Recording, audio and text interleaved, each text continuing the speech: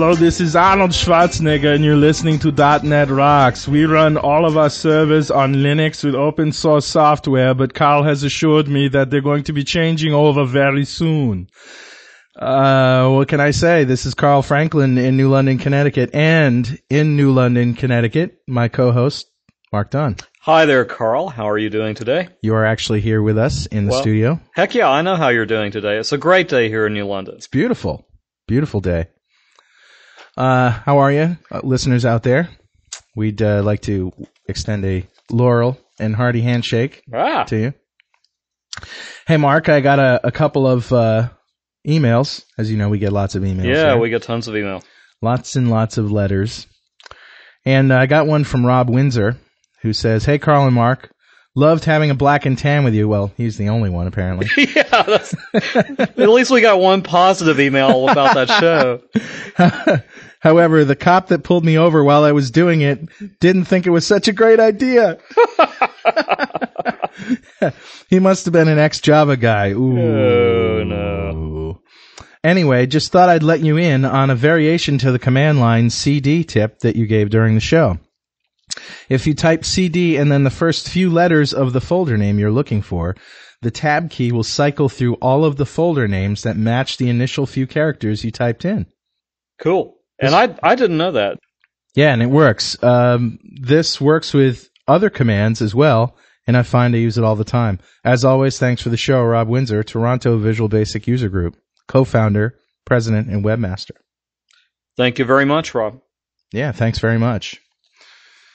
And uh, I also got a rather rather lengthy email from a Rick Byers who had some more input on the shadows keyword in VBNet. Remember we were talking about the shadows keyword Right. with Amanda and Paul? Yeah. Hey Carl, love your show. I finally managed to catch up on all the back issues just when you guys switched to bi-weekly, so I've gone from listening to four shows a week down to one every two weeks. So I'm a bit I'm in a bit of state of withdrawal here. so anyway, he was listening to the interview with Amanda Silver and Paul Vick.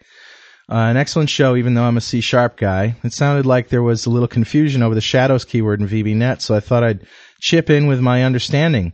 This is actually a question I sometimes ask in an interview to see if the candidate really understands all aspects of their language. I have yet to have anyone actually answer correctly. Interesting. First of all, I don't know a lot. So, hey, there's a, a nice tip for you, you know, if you're going Yeah. on an interview. Yeah, know what Shadows does. Yeah, right. Uh, especially if it's with Rick Byers. so, uh, first of all, I don't know a lot of VBNet, so I'm assuming shadows is the same as C sharp key, new keyword. From what I've read, this appears to be the case, but it is not really a VB or C sharp issue, but an IL issue. Both the shadows keyword in VBNet and the new keyword in C sharp work hand in hand with the overrides keyword to influence the use of the IL token new slot, which tells the CLR to always create a new slot in the V table for the method. If you create a new overridable method, it uses new slot by default. So in a sense, any virtual method that doesn't explicitly override a method from the base with overrides has shadows enabled by default. As you discovered, this doesn't exactly and actually let you override a not overridable or sealed method. It creates a new method entirely unrelated to the method in the base class, except that they happen to have the same name. Right. As Paul was discussing, this is entirely a versioning issue. The casting problem you mentioned is actually precisely the intended behavior. To extend Paul's example a little, imagine you've got a component bar that is a subclass of some other vendor's foo component. You create a method X on bar which you declare overridable or virtual in C sharp. Since X is something new you created, you know exactly when and where you're calling it. Now foo version 2 comes out and it happens to also have an overridable method called X.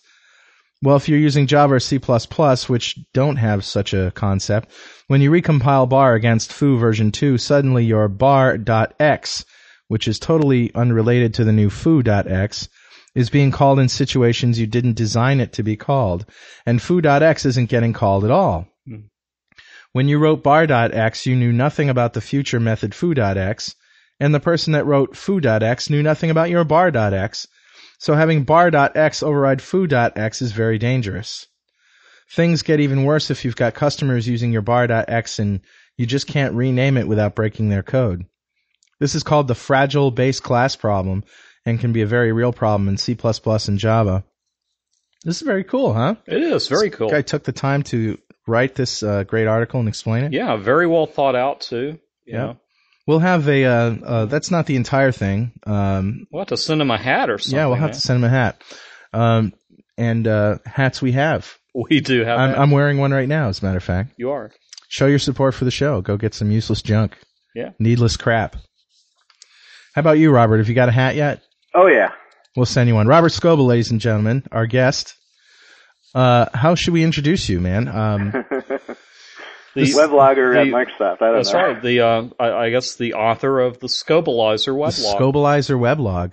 Yep. And And I'm uh, a technical evangelist with the Longhorn team. right now you are. You've recently moved on to Microsoft. Yep. When you were on the show last, you were a call-in guest. I believe it was on, uh, who is it? Nick Landry's show? yeah, that's right. We're doing mobile computing, and Robert was. Uh, you were doing something with an NEC Tablet. tablet Yep. PC. Yep. How'd that turn out? Awesome. I I wish I had mine. And you worked at NEC. they took it away from me when I went to Microsoft. Okay. You worked at NEC at the time, we should say. yeah, and it's still It's the like having your stripes stripped away in the army or something. Yeah. and break your sword. Get the hell out of here! so you're now. I have a Toshiba tablet now, and it's twice as heavy. So yeah, carrying it around the house isn't as fun. right. Probably twice as powerful too, huh? Uh, not really. It's a 1.3 gigahertz, if I remember Mm. right, Yeah. where the NEC was a 933. It was, So- it was actually hard to tell the difference in the performance. Right. Uh, the Toshiba though has a keyboard, so you can use it both as a tablet and as a regular laptop. Yeah. Well, tell the listeners how uh, we hooked up in the first place. Oh, jeez. I was uh, planning conferences, or actually, I think we met when I was an editor with Visual Basic Programmers Journal, Right. and uh, helping out with the VBITS conference back in the uh, early days. Back in the fun days. Oh yeah, The in good old days. Yeah. back in the days before internet, actually. That's right. actually, before the web.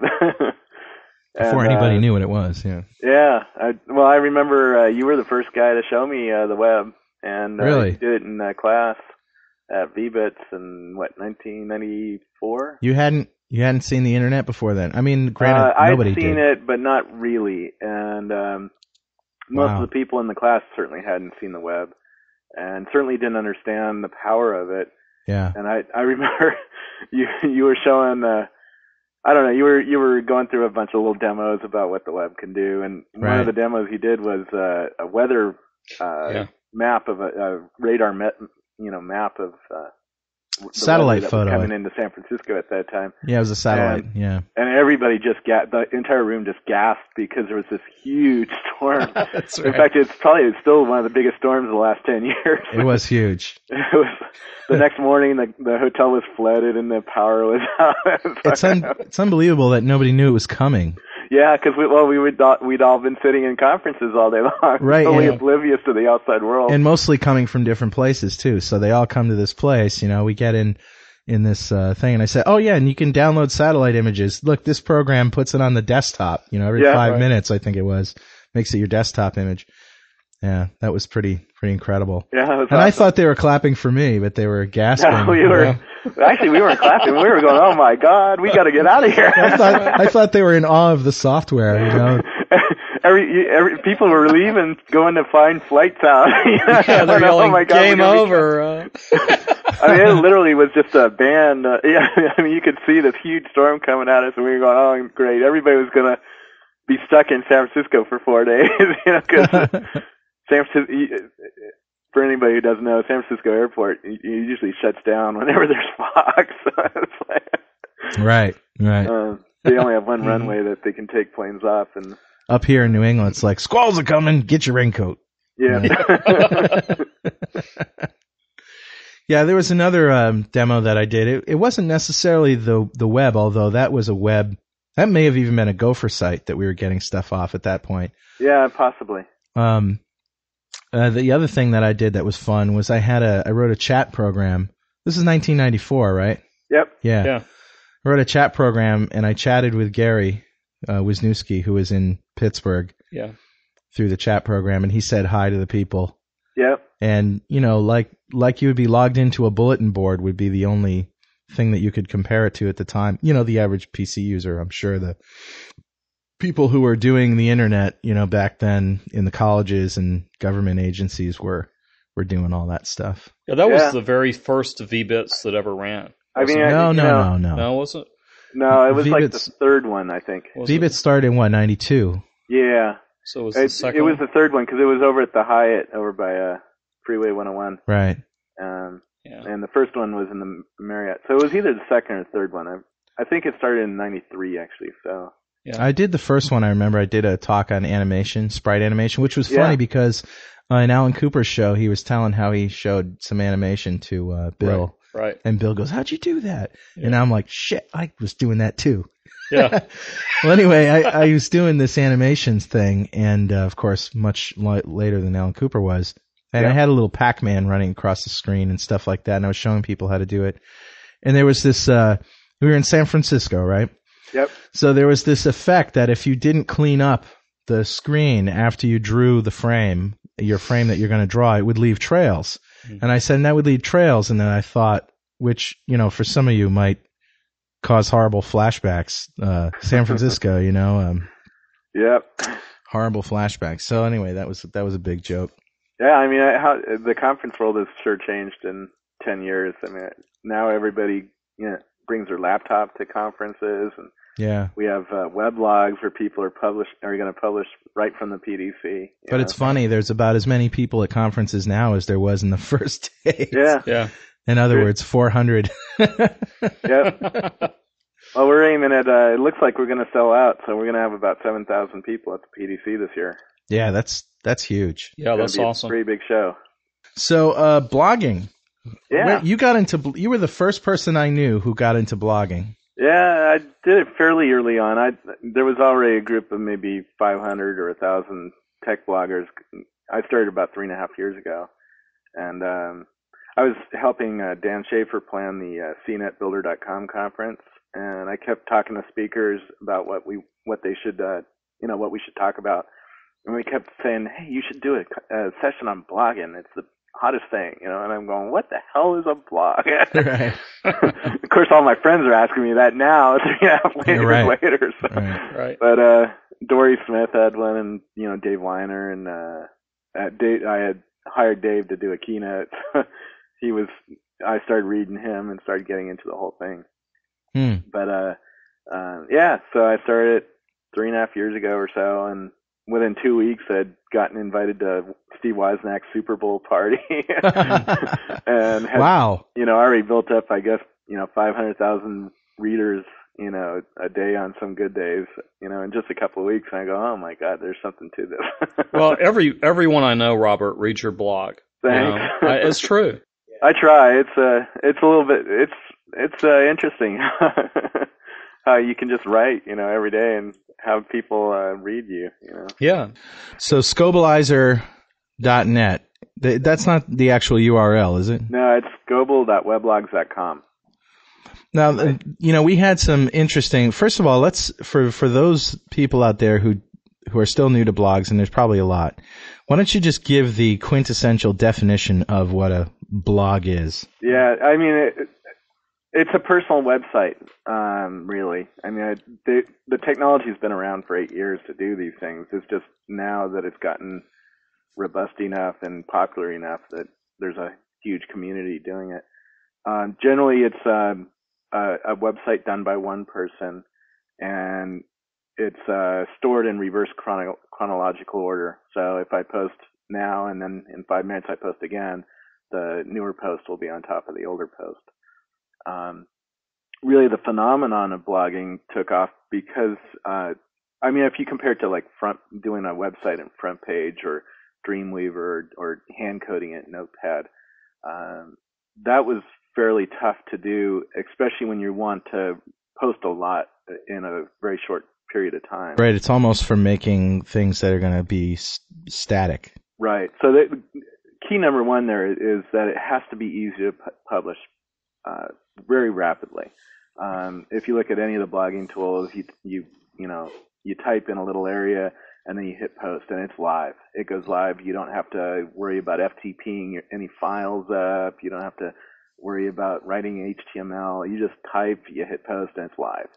So anybody can do it. That that was key number one. That you know a truck truck driver could do a blog now, uh, not just a geek who knew HTML. Where Right. back in the FrontPage days, you really had to understand that there was a concept of a server. That you know that what came down in the web browser was a little file, and you had to have some sort of concept of what, how the system worked. And how also, they- you had to have the the time to deal with it. yeah, and you had to learn how it worked. And I remember learning how to do HTML, and it, you know, it it's a fairly e- easy thing to learn. But when you haven't seen it before, it takes some time. It takes to learn it. Um, certainly, uh, my mom and my dad don't don't know how to do it. Right. So, Yeah, most Uh, truck but- drivers I know don't either. yeah. Most truck drivers will say, "What the hell's a blog anyway?" Something on the road. That's So, right. and the second thing that that happened was um, weblogs.com. So Dave Winer kn- knew that he wanted to be able to watch all the blogs that were going on and see when they posted. Um, so he started his blog tools would ping weblogs.com, and if you go to weblogs.com, you'll see um, thousands of blogs, and you'll see them as they post. So if I posted right now, you'd see my blog at the top. And if Right. you posted, then you'd, you'd be on top of me. And then if Mark posted, he'd be on top of both of us. So that was magical for a couple reasons. Uh, one, it's Dave Winer and other people who had, you know, the A-list blogs, they call them, or um, blogs that watch a lot of people, would just sit there and watch what, what was going on. You know, particularly in a uh, rapidly evolving news sit- situation like 9/11. That's what we both were doing. We were just Right. sitting there watching weblogs.com as people Hmm. commented to see what the news was and see, you know, because we couldn't get to any of the news sites, so we were relying on people talking from their own. wow, sort of like the uh, ham radio thing. Yeah, Yeah. exactly. Almost. Uh, that also uh, gave Google an advantage because G- Google Spider could just visit that page and instantly find you Yeah. um, and spider your site. So now you're on Google. Now you're getting traffic. Um, a good example of this is uh, this week we just opened. Uh, Robert McLaws opened um, some Longhorn weblogs, right? LonghornBlogs.com, and instantly we were getting traffic and getting comments in our comment area without telling anybody about our blog. Right, because We there were spiders no, out there. We had done no advertising. We had t- we had told literally nobody, but because we were in weblogs.com, we were already getting traffic. Hmm. Um, and also now new services like Technorati or Daypop or Feedster can watch weblogs.com and you, and spider those sites for their own purposes. Um, Yeah, you told me about Feedster. yeah. I was it was great. I just IM'd you. Hey, is there a Yahoo? Is there a Google like for blogs and Yeah, go uh. RSS is the third thing that made weblogs really different than you know a FrontPage site. right. Um, because I could, when I publish now, when I hit post, uh, my tool creates both an HTML file and a XML or an RSS file, right. and that file then can be uh, subscribed to by uh, news aggregators. And for instance, I have in Outlook, I have a um, NewsGator is my t- tool that I use, and uh, I have 536 weblogs that I watch Wow. automatically. So every hour, my little newsgator goes out and grabs anything that's new and puts it in there, and then I I can go through and see what people are talking about. It's a very powerful way to uh, build a community, you know, and that's really what what happened different than you know just putting up a FrontPage site. Right. It's like when I did my net meeting site, you know, I put it up there and nobody, I, I didn't get any, any feedback, you know, it's like, oh, okay, how do I get people to visit this thing? Well, I had to tell people about it, you know, so, and to get it onto, back then Google didn't exist, so to get it on Yahoo and AltaVista, I had to beg, you know, can you please spider my site? You know, I had to do a lot of work to, to make this thing happen. You don't need to, uh, Yeah. work at all. I mean, a, a friend, Zane Thomas, uh, who owns Abderaware, uh, just started a blog this week, and yesterday he said he had a thousand visits in one week. He just Wow. he got to a thousand visits, and that's that's the power of it now. Now I have a lot of Google power. Um, in fact, the MSN Spot team was sort of mad at me last night because I pointed at one of their pages that they didn't really want people to know about too much about. and it's all over Google now. He goes, "How the hell did you get that listed on Google so fast?" So- I go, "Yeah, well, I have a a Google page rank of seven. So anytime. Here's another question for you, Robert. Yeah. Let's say, uh, let's say somebody out there, a .NET developer, wants to utilize the blogs to to learn about .NET, and we heard, you know, people like Marcy saying that she learns a lot about about it just from reading the blogs. Yep. Well, where does one? I mean, there's a million people with their blogs out there. Where does one start? Where do you I, go? I would start reading uh, the the weblogs, uh, the .NET weblogs, which are uh, weblogs.asp.net, okay. and there's about 300 people who aggregate onto that page. It's not real. I mean, it's active, so if you visit every hour, you'll see different posts come up there. Hmm. Um, and generally, anything that is interesting in the .NET community gets Mhm. will get up there somehow. And you said something about RSS news aggregators, and is that worth doing? Uh, yeah, uh, I would read a blog for a little while. You know, Yeah. sort of, is this for you? You know, is this the kind of news that you like? Um, and then try, you know, try maybe NewsGator or um, Newsgator. God, there's uh, FeedDemon, which is really good. That's done by Nick Bradbury. Um, he's he's the guy who did uh, HomeSite for Allaire, which sold to Oh, yeah. Media. Yeah. His his uh, app is very nice. Um, oh God, Radio Userland is what I, I use Right. in, in my uh, as my blogging tool. They have a nice aggregator. Um, And what? How would you use an aggregator? What is that? it's what just is- an app like the um, NewsGator is a dot, .NET app that runs inside Outlook. So if you're always in Outlook, uh, consider NewsGator. If you want a standalone app, there's FeedDemon or uh, One of the problems I have with Outlook is that there's just too much information there all the time. My inbox is like my, you know, my cluttered car. You know, it's just yeah, well, it adds a new folder. Right. It adds a new folder to Outlook uh, called RSS feeds or something like that. You Okay. can name it whatever you want. And so then basically you point it to the blogs that you want to listen to. Is that it? Exactly. Yeah. Yep.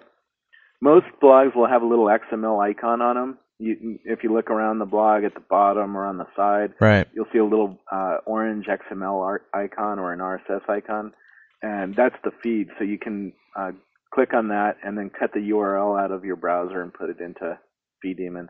There's also, if you want to watch um, like all the blogs on um, all the .NET blogs, like at weblogs.asp.net, there's an RSS feed, or there, I'm sorry, there's an OPML icon which will let you import all of the blogs into NewsGator, and now you'll have 300 blogs to watch. So Um, Robert, if I have NewsGator and Yeah. I have it in uh, Outlook, Yeah. does that mean that when a new message comes in that I want, it just shows up in the folder? And if I reply to it, will that go on my blog or somebody else's blog or what? Uh, well, it, it, How does that work? NewsGator, it's just a it's a file, so you can forward it to your team. You know, like at, at Microsoft, if I see somebody writing something interesting on their blog, I'll just forward it as an email. Okay. Uh, I can also post to my own weblog from that tool. So if I see something interesting, I can say I can click post, and it'll uh, bring up my little editor, and then I can type some more comments on it, and I can hit post, and it'll go up to my blog. Um, okay. Yeah.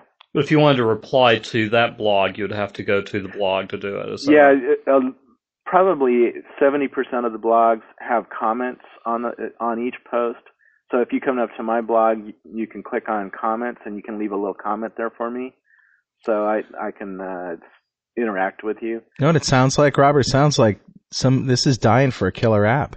Yep.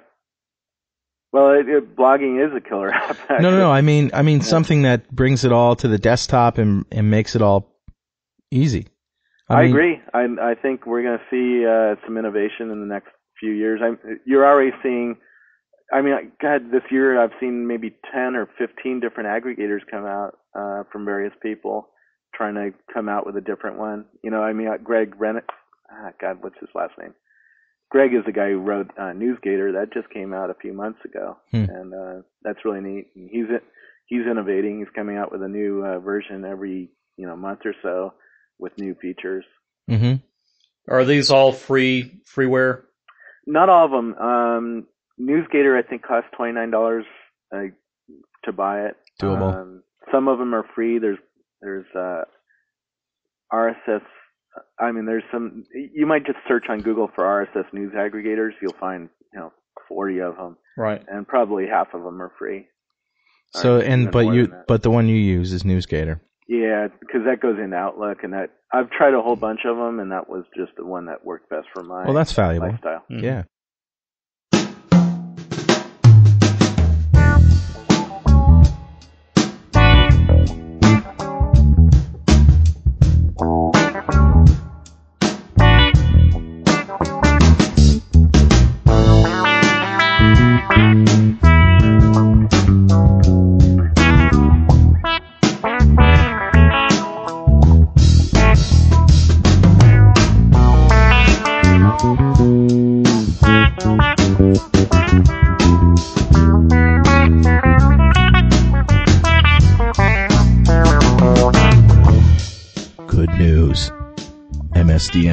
Is going to host .NET Rocks.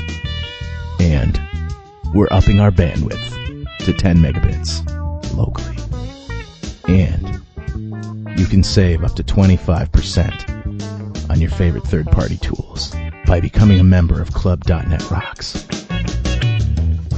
For 239 a year, you'll get all the shows for that year on audio CD, fully indexed one week before they go online. Yeah.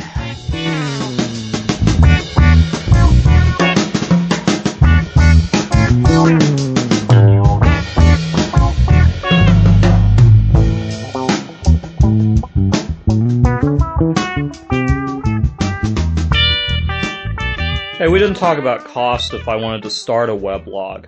Yeah, You know, Actually, that's a great a great question. Um, you know, uh, one of the regional directors, Robert, Yep. recently asked me. What did he ask me? He, he he was basically saying that he wanted to set up a blog, and I said, you know, he he said he would, but he doesn't have the twenty nine dollars a month, thinking that there was only one option. So I, yeah, Wow. no, there's actually quite a few free ones. Um, Mike Amundsen, who's another regional director, has started a service called EraBlog. Dot, Yeah, or he, Era Blogs he or does Era Era server. right. Yeah. Yeah, and he's giving them away for free. Um, if you want to write on a specific topic, like if you want to write at the PDC or write at uh, uh, write a Longhorn blog, you can certainly write to me, and we'll figure out a way to get you a free. Uh, PDCbloggers.net, we should mention that. Yeah. So there's there's already 150 webloggers signed up who are going to the PDC. So and there's a whole RSS newsfeed and a, a weblog aggregator, a website. You know. So all this stuff just makes it easier for people who have no life to get together and share the misery, right? Absolutely. Basically. Right. Well, hey, my, my next question is you said you subscribe to about 500 of these. yeah. How much time do you spend uh, reading weblogs every day? It's a good question. I reading them I spend maybe an hour to two hours. Oh, that's not and bad. then writing them I spend another hour, to, well, two hours to four hours. Okay. Um, All right. So yeah, that's that's considerable. I'm pretty hardcore. Yeah. But that's what I mean. You see my blog, and some some nights I'm posting 50 things, Yeah. and uh, that's so you don't play many Xbox games, I take it. no, no, that's my son. No time for that crap. So, my son doesn't have a blog, so he can Xbox. Uh, so how, what what's the traffic like? I mean, you've you've posted some numbers that were pretty cool about about your website. Uh, I about have your no blogs. idea really, and there's how- a reason for that. Uh, a lot of people are reading me through news aggregators, which totally skews the numbers. right. Um, and also, I my my tool just doesn't give me very good stats. Uh, So we what we need to do is in this killer app that we're going to write, Mark. We need to add. now we're writing an app. yeah, right. We we're going to need to add uh, web service based uh, transaction logging and Yeah. stuff like that. Yeah, Yeah. that's right. Yeah, I mean, I, the better you can, the more you can learn about your readers, the better the tool is. Um, Sure. Radio shows me where people came from, so if I instantly know if somebody linked to me uh, because people start visiting me from, you know, Dave Winer's site, for instance, uh, and I'll see that in my refers page.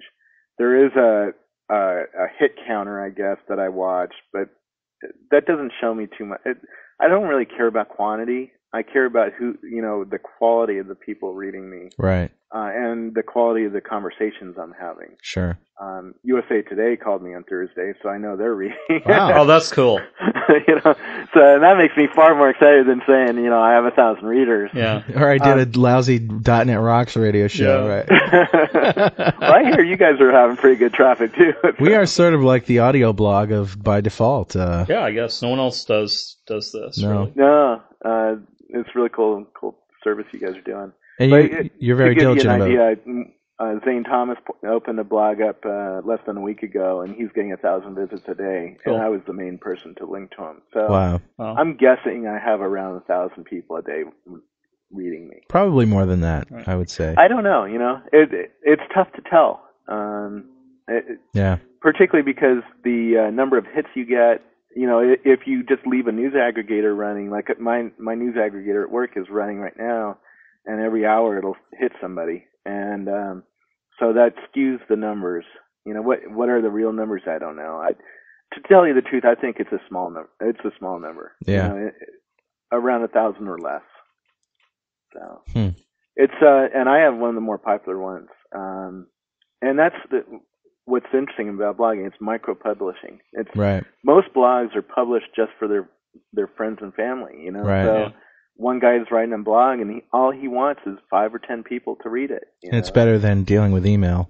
Yeah. Yeah, So- you know, Robert, I bet you'd be surprised. I, you know, a thousand sounds low to It me. It sounds very low. You know, I, I know, I know, you know, down down in Georgia, I know at least twenty people that read your blog, Well, okay. and that's just, you know, that's just people I know around Atlanta. Anecdotal, yeah. Yeah. Maybe it's my way to keep my ego in check. I don't know.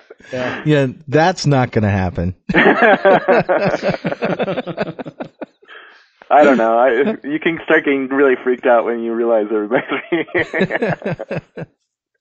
Well, it it's must like be. being on stage and seeing 2,000 people. It's like, ah. Well, it must be weird. Since you showed us Feedster.com, we've been going out there, you know, pretty regularly and looking to see what people are saying about us. And uh, Yeah. there's been some great comments. I mean, I can't believe the number of people that have commented on the show.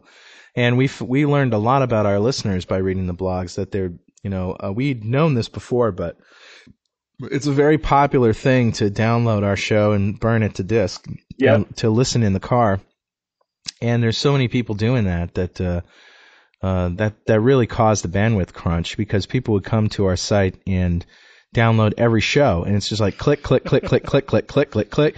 We'd look at the logs, and there'd be like a you know hundred requests from one guy in Yeah. in content in the you know in, ten, in a ten minute span, and um, you know those are 50 megabyte files, and if you multiply that by shitloads of bandwidth, you know shitloads of requests, uh, that can really cause problems. So what we've done, by the way, is we've got at least one mirror site up.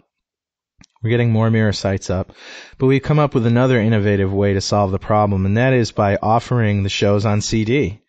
And we're going to offer them on CD uh, a week before they show up on the website. And that uh, sounds really cool. yeah, it's going to be a subscription thing. It's going to be cheap.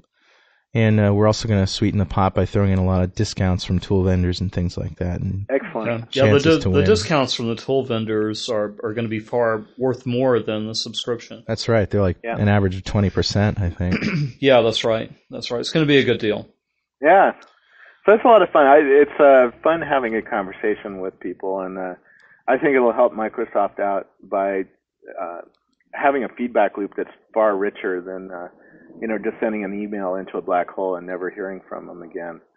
yeah, it's it's kind of cool. way, you know, I. I can point at somebody and say, you know, I point at a lot of anti-Microsoft stuff too, and try to have a conversation with them. Um, and I point at Linux sites, and you know, I try to I try to watch the marketplace and have a conversation with the marketplace. Speaking of that, Yeah. um, you read, read this open letter to Sun from Merrill Lynch. Uh, I think so. Yeah. Yeah.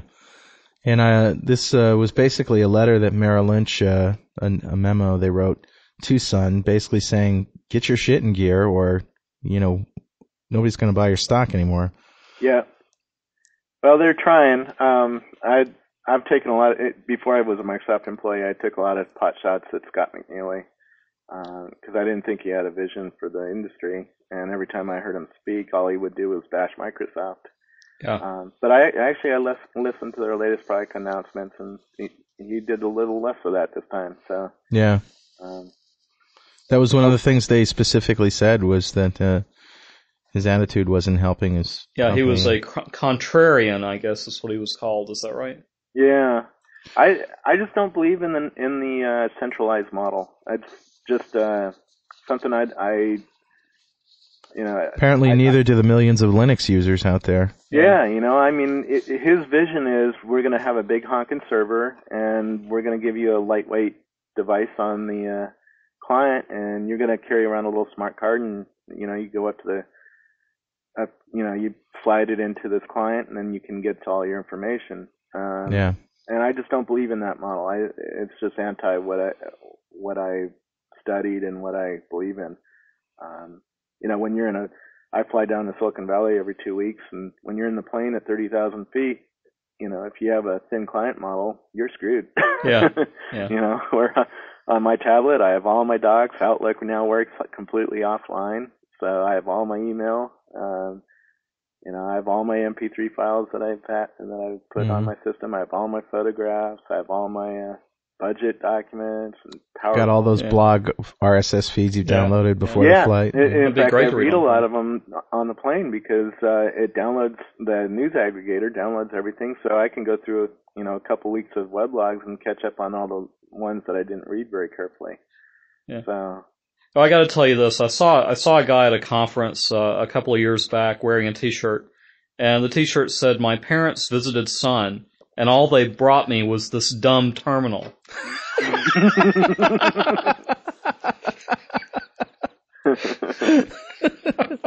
yeah, I mean, if you look at to segue into Longhorn, if you look at what Longhorn's doing, it's putting more and more power on the client. You know, I mean, we're going to show off a, a 3D compositing engine, which is just awesome. Uh, we're going to show off a file system, a new file. Whoa, store. whoa, whoa! Back up. 3D compositing. What is Yeah. that? Yeah, you got to come to the PDC to see what it is. We're, we're going to be there, man. Give us We're a there. Give us a teaser. I'm not allowed to leak and get fired before the PDC. All right, we you wouldn't want that. We All right, let me guess. Let me guess, because I have no idea. I'm not on any betas or anything. 3D compositor means that it's going to put together.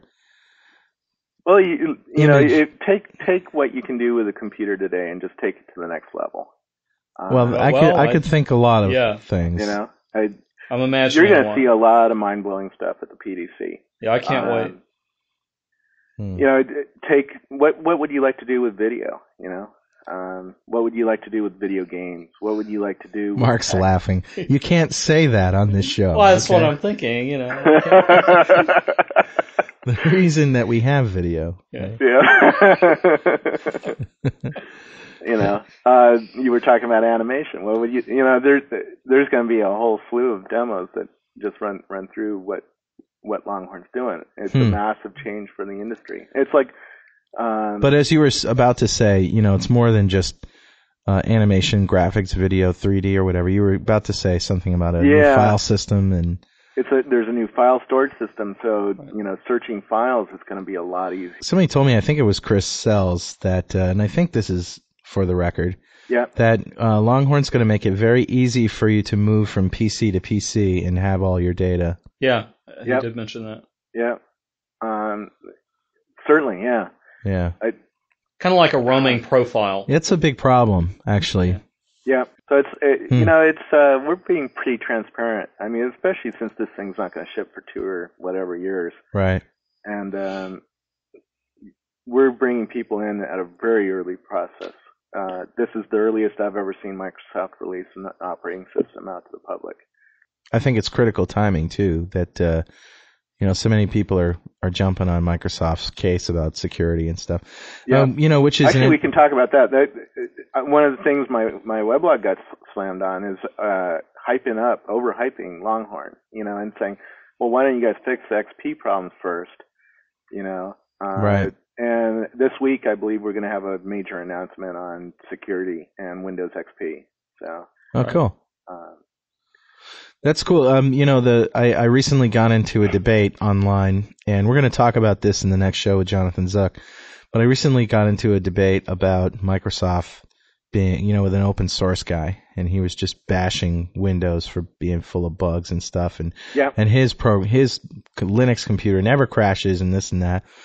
And I went Uh, out my, to my uh, Linux computer crashes. So. well, of course, and you know, it's not just the computer and it's not just the operating system you're running. It's all the software that's written by people, some of which has bugs, some doesn't.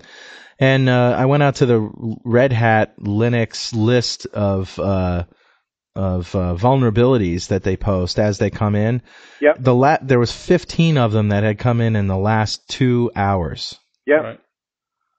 And they were some of them were absolutely heinous. Microsoft does not have a good record on security, and it's part. It's mostly due to the fact that we have most of the computers in the world, Right. and we're the biggest target. Biggest target. Yeah. You know, and if Linux had 80% or 90% of the market share, But what I'm saying here is that you know, they would be the biggest target, and you would see all the vulnerabil- vulnerabilities there. You would, but you would, but they do have vulnerability, and that's the thing I'm saying is that they do, Yeah. and you just don't hear about them because Absolutely. nobody cares. No, that's Yeah. right. You get you get this uh, kind of spin at times that that it's rock solid, Right? you know, and it's not. It's right. just bullshit. Yeah. Yeah. Well, the latest spin is to uh, is that a mo- monoculture gives you an unsecure.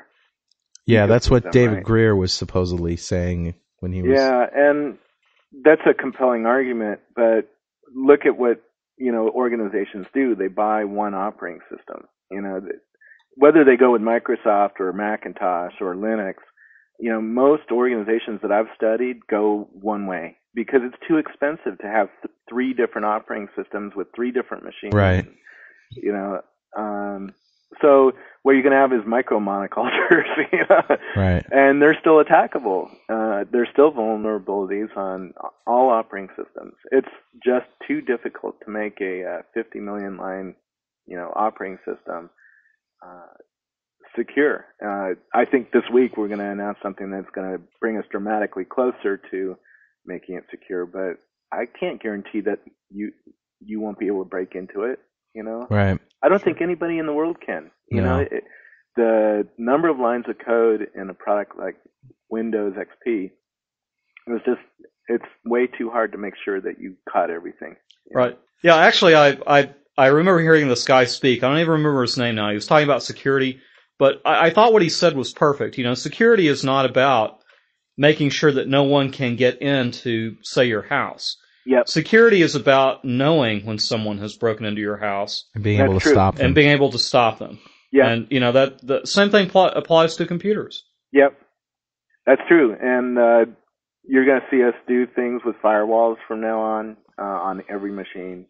You're going to Ah. see us, you know, do things to authenticate, you know, RPC calls and stuff like that. So you, Right. you're going to see uh, us take some uh, real noticeable steps to make it much harder to get in and make it much more likely that things will get caught. Right.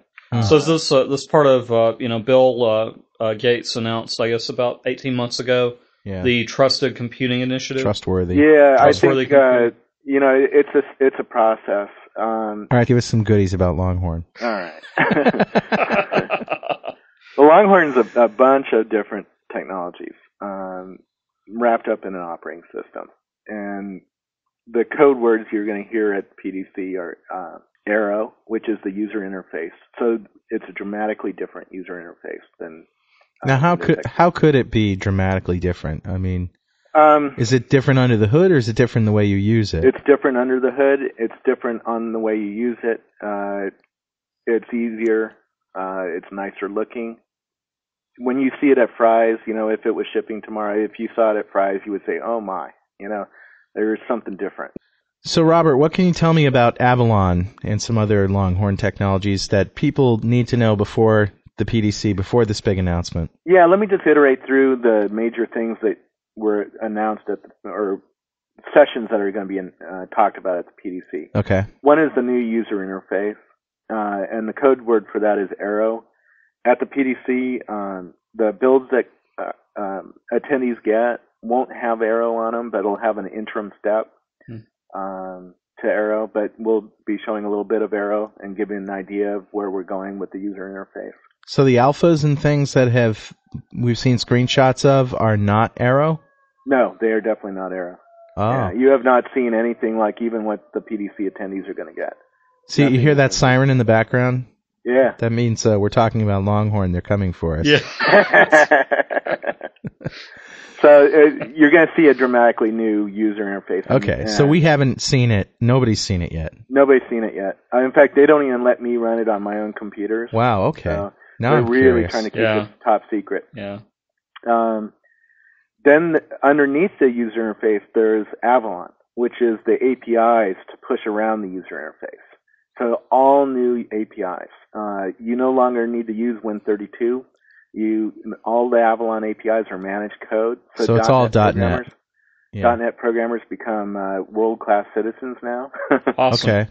and really have have a lot of power to uh, build really graphically rich uh, applications. So in other words, there's some new additions to the next version of the framework that are going to support this technology. Absolutely. Yeah. And it's only going to run on on uh, Longhorn though. yes. Yeah. It- it- this is all a new operating system that'll run on, you know, a machine that's coming out in two years. Right. So so we'll have that issue to deal with if we're running .NET programs. We're going to have the Avalon hooks in there or not. Yeah. Um, right. Well, you can architect your app to run on today's system, and it'll run on Longhorn Sure. fine. Just But not if you take build an app that ex- exploits all of the Longhorn stuff, you know, that uses the WinFS, the new file storage system, or uses um, the new uh, Avalon APIs, yeah, those won't run on uh, Windows XP. Okay. instance. That's good enough. So, and then underneath, there's a new file storage system, uh, WinFS they call it, which will let let you uh, write metadata. It'll have a whole consequence on how you architect your app. Um, for instance, Outlook uh, today stores its contact information inside of its own app, and really other apps can't get to that. Yeah, the PST file. Right. Yeah. In in the WinFS world, that gets exploded down to the hard drive and split up, and uh, um, so that has dramatic consequences for how you uh, architect apps and build apps, and it will uh, give you a far richer set of capabilities. And this file system is the mythical SQL Server based file system we've heard Yep. about. Right. It's derived from Yukon, which will also be announced at PDC. Um, Huh. And um, I don't know if it's a subset or superset. Right, I, right, I right. say it's derived from because it's, it's sort of is It's related to it It's somehow. It's related to it. It's a brother of Yukon. Okay. Um, Son of Yukon. yeah. So those will be uh, some fun sessions to go in and see. Well, my interest is piqued because, you Yeah. know, there have been photos of leaked versions of Longhorn out, you know, that people have shown and, and the user interface didn't look any different. And now that No. you're saying that, oh no, that's not nay nay, I say. Nay, nay. Yeah. Yeah. I say nay nay. Uh, that, uh, that, that the actual user interface is something we haven't seen yet. yeah. No, you have not seen it yet. Cool. Um, Now I remember Chris Sells saying that, and he's a pretty hard guy to impress. That when he went to work for Microsoft and they showed him Longhorn, that he just couldn't believe it. yeah. I saw it right before I took my job, and that was the clincher. Uh, Really? I saw it, I said, "Oh my God, Microsoft is awake and uh, actually doing something interesting." Yeah, Saul said exactly the same Yeah. thing. He saw Longhorn and, and he jumped on the bandwagon. Yeah. Yeah, and uh, I think when people see it, they're going to say, "Oh, okay, you guys hired some uh, good designers for once." Well, you know, uh, Microsoft's hiring some impressive people. They are. yeah. Yeah. No, the, the the team that did the user interface is world class. So I Yeah. I think people will be impressed. Hey, they got smart and hard Scoble. That's right. I don't know if that was smart or not. we'll see. I remember we'll there see was how a- much uh, market share. Yeah. Now, you how many people got to upgrade to Longhorn? I'll see in three years whether that was smart or not. Now, Robert, you have sort of a, uh, a reputation as being a little loose-lipped, so I'm actually very impressed that you're holding out on all this Longhorn stuff as you are. It's uh, yep. We can't beat it out of him. Come that's on. right. He's a different Scoble now. Yeah. Yeah, I, I learned my lessons. I got I got the whipla- whiplashes on the back. You know, those scars still burn, man. uh, Too much. yeah. Um, what else is there? Let's see. So there's new user interface. There's a new file storage system. Um, there's new APIs for the user interface. Don Box's team, or actually Yasser and all those guys, are Mhm. working on uh, Indigo, which is Right. like the next version of SOAP. Uh, Hmm. Mhm. and I'll let them uh, talk about that. It's, uh, it's going to dramatically change uh, how computers talk to each other. So bunch of interesting sessions. Don's agreed to uh, do a show with us at the PDC, so his show is going to be coming up pretty soon here, yeah, folks. I, I would expect that he has a lot he would like to talk about. Yeah, They've been uh, doing some really remarkable things. that's great. Um, and I mean, geez, we're only talking about Longhorn. At, at the PDC, you're going to see uh, Whidbey, which is the next version of Visual Studio. Yeah, we've been talking a lot about that with uh, Yeah. Paul Vick, Amanda Silver, and Scott Guthrie. Actually, we just did a show with him. Yeah. Yeah. And there's going to be uh, Yukon, which is the next version of SQL Server. Right. And also this month, we're shipping a new office, so that'll be it in the exhibit hall. They- So what's next year's PDC going to be like? I mean, I if you know. guys are shooting your wad this time, uh, Actually, you know what? You, Be you've passing only out seen the Kleenex right? or something. Yeah, smoking cigarettes next time. Smoking cigarettes and passing out Kleenex. That's Yeah. There's actually a PDC only when Microsoft has something major to announce for for developers. Right. Um, a major new initiative or something that's dramatically different. They just if uh, they don't have something dramatically different to announce, they just do TechEds. Right. Go to, Right. Send all the developers to TechEd. Yeah. Um, what else is there? There's the new Yukon. Well, you know that we're uh, doing a show at a .NET Rock show at the PDC. Yeah, right? that's on Sunday night, right? yeah Sunday night. Oh, yeah. I have a room number. Uh, I'll put it on the website. Right. A link yeah, to the be a big page. deal. I'll, I'll uh, tell everybody about that on my web live. Okay. Yeah. It's gonna be least, six uh, six p.m. or eight p.m. Yeah, I think it's 6 p.m. on Sunday night, somewhere, yeah, somewhere with near the BOF sessions. Yeah. Cool.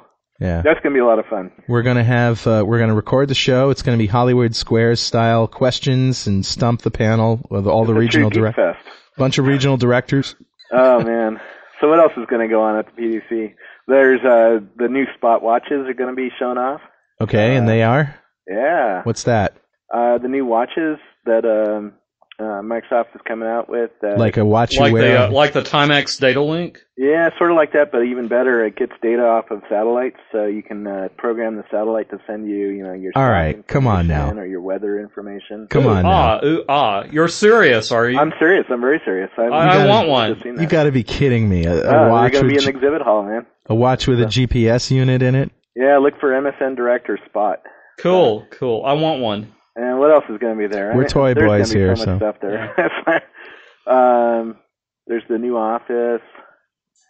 Um, I think the Xbox team has a few new things to show off. Uh, we're having we have little Xbox pods. Around. All right, let me ask you this: Yep. the new interface to Longhorn isn't the Xbox interface, is it? Oh no. I'm just just checking. no, I, I actually, you know, one of the things that I expe- there's several business opportunities that Longhorn will open up. One is interactive gaming because uh, video games on Windows XP really required the gamer to take over the entire screen for performance reasons. Uh-huh. With uh, Longhorn, they don't need to do that anymore. So now you can have, you know, flight simulator in a window that doesn't it might not even look like a window, and you can have uh, interactive pieces that are written in Avalon that talk to that video uh, video game. So you could have a whole new kind of video game come out of this that uh, uh, doesn't Hmm. exist today, which is I think you're giving us some insights into the user interface that we shouldn't be getting here. oh well, you know. Yeah. I have to give you some leaks. Right, right. That's very intriguing. Yeah. So it doesn't look like a window. That's nice. Yeah. Regions. Well, you can think about that. Obviously. while. Yeah. You know, Mark is uh, going to be doing a talk at, well, he's already done it by now, Yeah. at DevConnections, uh, where he's doing some advanced Windows Form stuff. He's actually got code that can take an image, a picture, Yep. and turn it into a control or form. Awesome. It'll trace the, the outline of the image. Right, and create a region that Oh wow. maps to the uh, whatever the outline of the graphic look like. Looks That's like. awesome. Yeah. Some good stuff. He also so what figured else? out. Uh, I mean, if you look at Longhorn, why why is Microsoft doing it? We're looking at the trends of the computing industry, Right. um, and what you know, what are some of the major trends that are going on? Uh, one, system more and more systems now are coming with GPUs. You know, with uh, graphic accelerators that are. Oh, okay. I thought you said CPUs. Yeah, I I was was gonna going. Yeah, yeah, they do. graphic This is news. So, you know, which are, uh, you know, when I bought my first GPU, you know, it cost me three hundred dollars. Now that same GPU is thirty nine dollars. Yeah. And Hmm. uh, you know, two years from now, that same GPU is going to be you know ten bucks. And you could put it in a watch, for example. yeah. That's right. yeah. Call it Spot. Ah.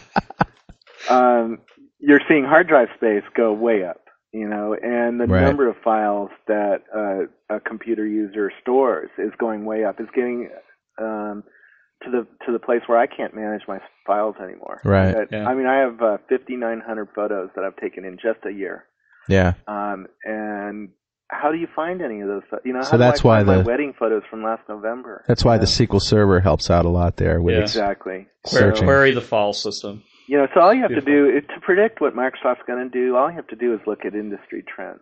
You know, Right. uh, you're looking at the cell phone market. Look at spot smartphones. Um, the phones are getting richer and richer, and now are now almost you know all the phones sold here are coming with cameras. You know, Oh yeah, they're like little PDAs. yeah. Yeah. And uh, so the new smartphone group will be there uh, showing off their new smartphone, which they're finally shipping in the United States. Yeah, I heard about that. That's great. Yeah. Um, So send that to at- Franklins.Net, 302 State Street, Yeah. uh, Suite 513, New London, Connecticut. Yeah, you're looking at the home entertainment systems, you know, and we we call that the 10 foot experience. So, you know, Longhorn has both a two foot experience, you know, for your computer that you hold in your lap or sit at a desk with, and a 10 foot experience. So you can s- see how we're going to use uh, Longhorn in in the living room or whatever. Um, Isn't that just the length of the cable, basically, that we're talking about Yeah. there? I mean, uh, no, but it, 10 the foot experience. has to shift as well. I mean, I, if you look at the, we just uh, shipped the new Windows Media S- Center. So Uh, fonts have to be bigger, cables Yeah. have to be longer, and Yeah. your story. I mean, Yeah. uh, what else? Is, no, I'm kidding. Yeah. so the new Windows Media Center uh, guys will be at the uh, exhibit hall as well, showing off their new stuff. Now that's that hasn't gotten a lot of press. The Windows XP Home Media Edition is it? Yeah. Uh, is this something that's going to continue on? I mean, that didn't oh do yeah, too well. we just had a big launch party at the uh, this week, this last week here in at Microsoft. well, that sort of didn't do too well, though, did it? Oh yeah, it did. We had more than 300 news stories written in all the media. Uh, But did people buy it though? I mean, I thought that uh, they bundled it with a couple of machines, right? Yeah, I don't know. I I still have. I'm I'm still uh, struggling with that because it's still too expensive for my budget. You know, Right. even though I work for Microsoft, I don't. Yeah, I don't have unlimited funds for my personal. They- they're not really pushing it either. I saw a flyer. they are. They're they're making a big push on it, and I Maybe think now. you're going to hear a lot more about that at the PDC. Maybe now they are, but uh, Yeah, you know, a few months ago, I, I I learned about it by reading a flyer at the local Microsoft office. I I, ne- this is I, one problem with Microsoft. It is so big and doing so many things yeah. that anything that isn't you know Windows or Office seems like it isn't getting the attention it deserves. Right. Yeah. and um, that's a real problem for some of these uh, teams who you know have have really cool stuff but get lost in the mess. You know, I mean, at the PDC, I expect Yukon and Whidbey just to be lost because everybody's going to see the new user interface and the new file system and the new Avalon APIs, and that's all they're going to talk about on the weblogs, and they're they're not going to have time to absorb what's new in Yukon. You know, Right. and Yukon's a major new product. you know? I, I'm looking forward to seeing Yukon. I mean, you know, I I, Yeah. I know about Whidbey already, so that that's maybe not as as attractive to me as Yukon is. Well, if you think about it, that's another reason why you want to be keeping uh, keep listening to the show because we're constantly going to be talking about these new things. I mean, these Right. are going to be the subjects that our show is going to focus on in the next year or two, and uh, so there you go. Hmm. Yeah. So you you know, and you look at the trends and uh, and back to the trends, you know, and, and that's what we're going to be exploiting is, is giving people a better computing experience um, in 2005 than they have today. Um, you also we're working a lot on fundamentals. I mean, there's a new TCP/IP stack in Longhorn. There's a new security model. There's a new app delivery model. Um, you, you basically look at what uh, Windows is not doing well today. We're we're looking at that too. We take all the feedback that we've gotten from all the different sources, and we say, hey, how can we fix it? How can we make the industry dramatically better um, and get people loading software again and get, getting them to trust their computers again? Interesting that you said a new TCP/IP stack. I hadn't heard that. What was wrong with the old one? Uh, I don't know.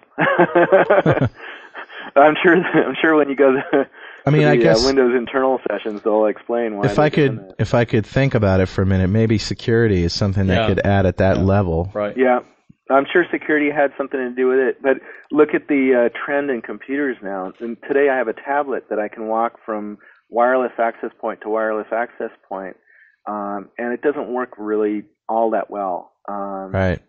How can you make it so that it works perfectly? You Right. Know? I mean, I look at Outlook. How Outlook today is so much better in dealing with offline, uh, you know, with an offline state than it was just a year ago Right. you know, or two years ago. So, you know, there's a, a lot of work going on underneath the covers that uh, I'm sure we'll be hearing about for the next two years. Right. One of the problems with Longhorn, to tell you the truth, it is massive. I, I've been reading the internally. There's this uh, book of Longhorn, which is sort of the vision statement for Longhorn, and it's hundreds of pages long. Hmm. It is um, dramatically massive, and to learn everything about it um, takes months. You know, Wow. and we're going to pour our everything we can into the 30 or 40 hours of content at the PDC, and Right. you're only going to see the tip of the iceberg. You know, Well, maybe that's a good reason for Microsoft to start uh, really initiating developers about this now, yes, right. Why, rather than waiting two years and going, you know, boom, here it is. that's exactly why we're we're um, showing it off so early. I mean, Windows 95, the general public didn't get to see it until what five months before it shipped. Right. Right. Uh, this time you're seeing it two, maybe even more years before it ships. Um, part of that is to get a better feedback loop because Yeah. the more people have their hands on the bits, the better the feedback is. Um, and you know, you can you can you know, people will tell you, "Hey, I hate the new UI here," and we can fix that. We can change it. Yeah. Um, Well, I gotta tell you, perfect. For me, for one, I am just. This is like. uh, You know, I keep saying it's like Christmas. You know, it's like Yeah. uh, it's like a birthday party here. Yeah. And it's, it's uh, like one every week, though. You know, we hear more stuff every week. Yeah, that's a real problem. I, I as an evangelist, um, I'm just worried that we're pushing out so much that uh, people's ability to cope with the change is going to be a little bit uh, a, a, be a problem. you know? yeah, could be. Um, the other the other reason we're doing it early is to um, help developers build apps and start Mhm. planning their apps. Yeah, that's important. Um, for instance, if you're in Adobe Photoshop, for instance, Adobe Photoshop works on a 24 month launch cycle. You know, so from the day they start planning to the day it launches, it's 24 months. Well, that's 2005. So if we want a, uh, a Yeah. Photoshop version of Longhorn, or a Longhorn version of Photoshop, sorry, to ship, we need to uh, help Adobe or help you know any developer who wants to come out with a product you know for 2005 and be out on day one. And clearly, our goal is to have hundreds of apps out on day one. You know, Right. Bill Gates announces this at Comdex or wherever. Um, he wants a pile of software behind him. That, Mhm. You know, he can say, "Hey, all these guys have already shipped, you know, Longhorn versions, and uh, off we go." hmm Yeah. Uh, it, it'll be just like the Windows 95 launch, and the, that that's pretty much the model that we're using for uh, launching this as well. Well, it's uh, I, again, I can't wait. Mark can't wait. I'm sure, and our listeners are listening with bated breath. And uh, but I think it's a we're about out of time now. So uh, Okay. Hey, uh, let me uh, let me ask you. I know Mark's got a last question here. My last question to you is: uh, Do you have any killer apps that you want to uh, tell the people about, or utilities, or little things that you've downloaded Ooh, that you're really happy about? the latest thing is Skype. Skype. Ah, yes. S-K-Y-P-E. It's a little uh, audio telephone, voice over IP kind of thing. It's by far the best quality I've ever heard. Uh, it's better than my cell phone. Hey, I got a Skype story for you. Carl and I have been using this, and uh, we were on one night recently. Yep. I, I get a call from a guy in Australia, and I'm in Atlanta, Georgia. And he goes, you know, I was just out on, on Skype looking for someone in the U.S. And basically, I guess you can go to a directory and browse and see that I'm online. Yep. And he, he decided to call me. This Yep. guy's in Australia. No latency. It was perfect. Yep. Uh, clear audio. I was amazed. Yep. I've had that experience with people all over the world. It's uh, really great, great product. and it's in beta right now, so it's kind of feature, uh, you know, challenged. Yeah. but uh, but it is like you said, a good quality. We Mark and I were talking the other night about code and stuff for an hour or so on it. Mhm. Great. Yep. We Get a get a headset. That's that's my advice. If you're Yeah, going to that's use it, get a headset. Absolutely. Yep. Uh, cool. Before we jump off, let me congratulate Carl on being named an MVP for Visual Basic. Oh, thank you very much. Yeah. It was a surprise to me. And an Um, MVP is a most valued professional. Yep. Yeah. I was an MVP for five years, so that's Yeah. a a great honor. I was uh, amazed to learn there was only a handful of them, less than a thousand, I think, total. Total. There's a, I think there's 1,200 last year, and now it looks like the group will be going to 1,700 MVPs. okay, well there you go. Yeah. Still yeah, not much. we'll have a big MVP thing on Saturday too. So That's right. Yeah. So Cool. it's nice. I got a nice backpack, and they gave me some goodies and things, and awesome. Yeah, it's kind of cool. I didn't get them. Nice. I'll send you one of mine. Here. I'm jealous. All you got to do is go to the store and buy something for ten. I'm going to quit my job so I could be an MVP again. Yeah, right. Yeah, right. All right, man. Take All it right. easy. Thanks. Right. Take Talk care, Robert. Later. Okay.